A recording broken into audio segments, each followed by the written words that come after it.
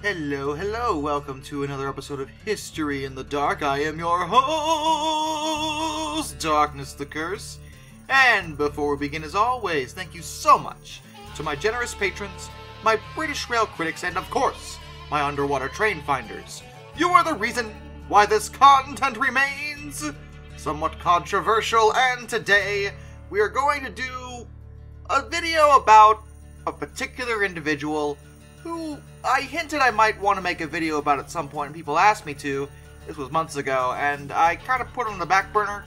And uh, I decided now is a good time, why not, to talk about the ever infamous Edward Thompson.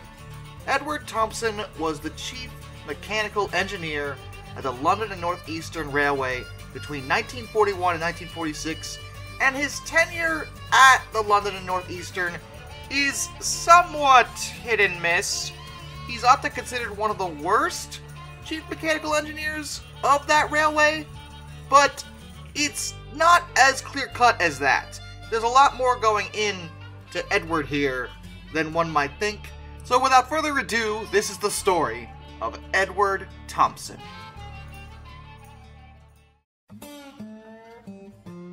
Edward Thompson was born on the 25th of June, 1881. He was the son of an assistant master at Marlborough College, and he attended that college before moving on to further his education at Pembroke College in Cambridge, and he earned a third class degree there. Prior to working on the railway, Thompson's background consisted almost entirely of classroom academics when it came to mechanical engineering. This contrasts a bit to Sir Nigel Gresley. Gresley also attended Marlborough, but he had practical experience as a pupil at Horwich Works.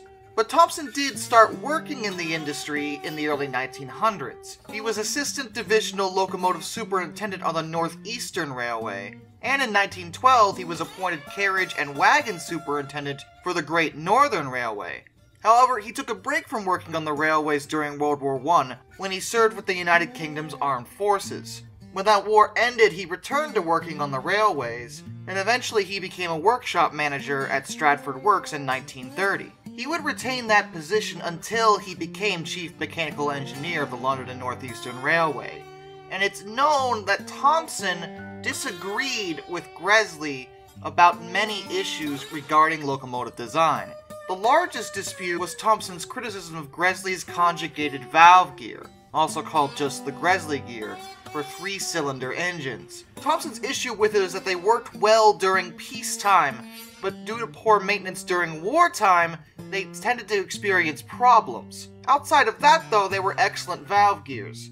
Gresley also experienced a heated debate between himself and Thompson's father in law, Sir Vincent Raven. It's sometimes theorized that this may have been why Thompson criticized Gresley so heavily. If there was any true animosity between them, it's largely hearsay, as no evidence seems to exist that Thompson outright hated Gresley on a personal level or anything, but there was definitely serious disagreement when it came to locomotive design, and it was something that was unusual as Sir Nigel Gresley was heavily respected by most, and many did not question him that often when it came to his ideas. Thompson was kind of the exception in that regard. He was not afraid to challenge Gresley's point of view. Gresley had been the chief mechanical engineer of the London and North Eastern since the 1923 grouping. However, after a short illness on the 5th of April 1941, Gresley suddenly died at the age of 64. This put the railway in a really difficult spot. It was right in the middle of World War II, for one, and they were under the control of the War Department. They had no successor to Gresley in mind, but they needed one very quickly. The first thing they did was actually request permission from the Southern Railway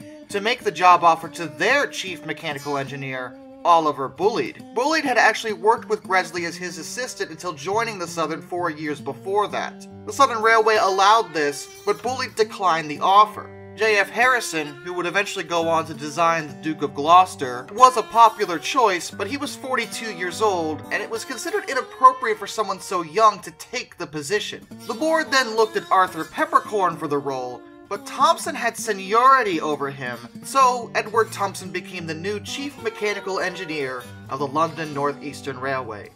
And his tenure was questionable, at best. Now that he was in a significant position of power and authority, he was able to actually start using his own designs in actual practice. But he was somewhat restricted, and the problems he experienced were not entirely his fault. Again, World War II. It was difficult for him, if not impossible, to get approval to build an entirely new locomotive from scratch.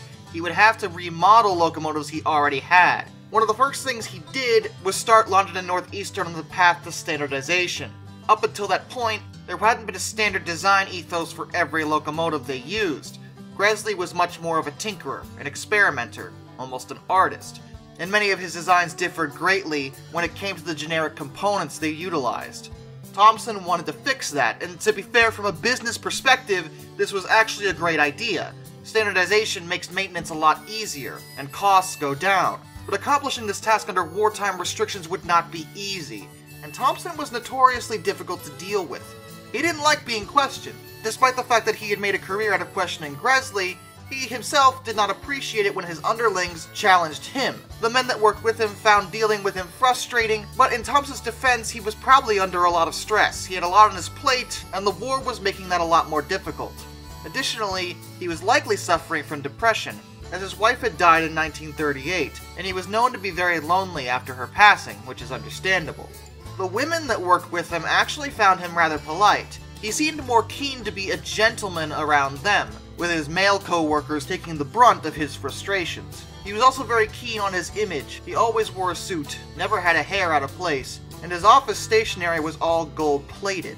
He clearly took great pride in himself to a certain degree, but how justified was he? After all, he had not yet proven himself a capable engineer when compared to the late Gresley. He definitely had a solid academic background, but he'd never had to design a locomotive on his own. And the task before him was to standardize a railway by rebuilding a lot of pre-existing locomotives. He was likely aware that the better way to go about this would be just to build replacements from scratch to replace the older locomotive models, but the war prevented this action, so he was forced into the rebuilding. And this gives Thompson a bad look historically, since pretty much every single design rebuild he did was a Gresley model many of the Pacifics in particular. Some sources say this was deliberate on Thompson's part out of spite for Gresley, but it's debatable how true that may be. Literally, he probably could have picked pretty much any locomotive to remodel, and it would have been tied to Gresley. In that time, most of them would have been, especially the successful ones, and he had no choice but to remodel them given what he was tasked with doing. He couldn't build new ones because of the war, but he had to standardize the lines. What choice did he have? That being said, there was at least one occasion where one of the locomotives he rebuilt was probably a little bit motivated by spite. He decided to rebuild one of Gresley's A1 Pacifics as his new Thompson class A1-1. That in itself is fine, but the one he specifically chose to do this experiment to was number 4470 Great Northern.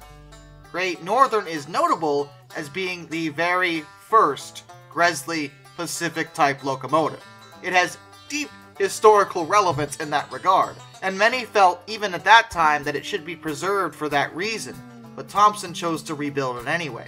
It's also known that the chief draughtsman and a number of high up officials within the railway tried to deter Thompson from doing that, insisting he do it to literally any other A1, but Thompson had no interest in doing it. He wanted it to be the Great Northern, and this rebuilt locomotive appeared in traffic in September of 1945. It was classified as A1, and all of Gresley's A1 were reclassified to A10. The A1s were already pretty decent, as they were, but Thompson's remodeling caused a number of teething problems. These were fixed, but the engine never ran as well as it had before remodeling. This would be pretty much the case for almost every single Pacific that Thompson worked on. Every time he tried to remodel one of Gresley's Pacifics, or turn a different model locomotive into a Pacific, it seemed like there were always issues. For example, he redesigned Gresley's P2 class, which were originally 282 express passenger locomotives, into 462 Pacifics. The P2s had been quite good prior to Thompson's changes, but after his improvements, they suffered wheel slip, frame movement, vibration, and loose fittings. The subsequent A2 3s were much the same way. Thompson had a weird fixation on two things. First of all, he absolutely hated the Gresley gear. He would not use it. He always used Walschaerts valve gear, which is a very old valve gear from 1844. For its time, it was quite good, and in some ways, the Walschaerts valve gear is alright, but these locomotives just hadn't been designed to utilize it, and adding it in place of the Gresley gear caused a lot of issues. The other thing was that he insisted that the connecting rods always be the same length in the locomotive, despite there really being no logical reason for doing this. This meant that the inside cylinder had to be placed as far forward as possible, causing much longer wheelbases than intended. The nature of the alternating valve gears meant that they used divided drive, Although it reduced total stress and strain on the entire center crank axle, this ethos did not lend itself to frame integrity, causing stress cracks and frame damage. As a general rule, pretty much every single Pacific that Thompson touched turned out horrible, much worse than they had been. Although the worst example of something he built was actually not a Pacific at all, it was the tank engine, the Thompson class L1.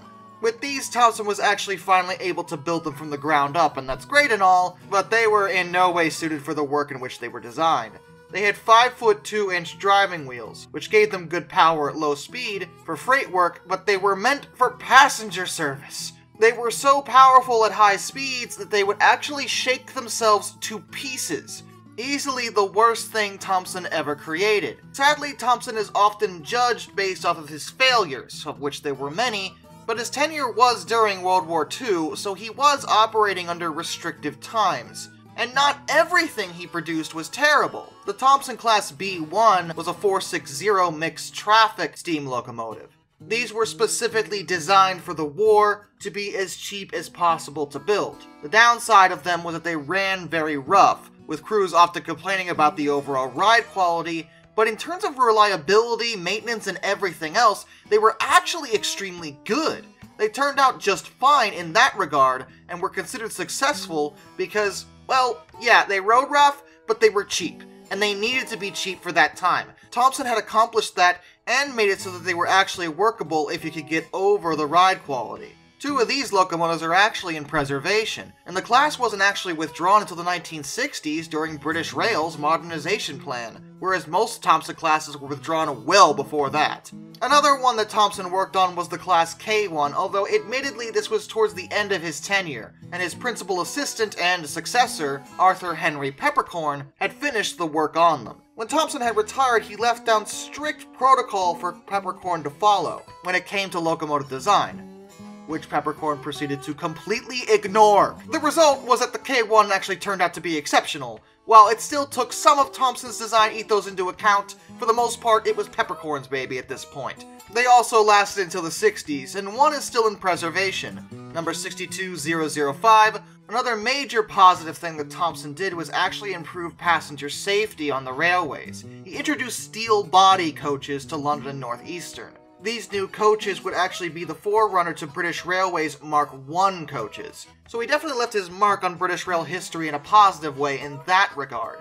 But he's often remembered for his inept designs when it came to the Pacifics in particular. Upon his retirement in 1946, he had only managed to design a handful of decent locomotives, whereas the majority were either bad or somewhat averagey at best. Again, it wasn't entirely because of him. He was in charge of the designs during World War II and had to answer to the War Department, so it wasn't like he had complete freedom to do whatever he wanted. Despite this, though, he's often considered the worst chief mechanical engineer that and Northeastern ever had. Regardless of what you think of him, I would say that Thompson, in the position he was, probably did do the best he could. Not everything he did was wrong, not everything he did was bad. He would die in 1954, at the age of 73. Before we go, a special thank you to all my underwater train finders. Thomas Ward, Lord Captain Von Thrust III, Some Dude 267, Brightline Blue, Joshua Long, Ohio Trucker 1, Royal Hudson 2860, Lord Hoth 444, Arthur Roy, Benjamin Owens, Panzer Kitson 131-232, Mr. Black Rose, Tribal Typhoon, Master of None, Josh Johnson, and Lock Kraken. Till next time, this is Darkness, and I bid you all a fond farewell.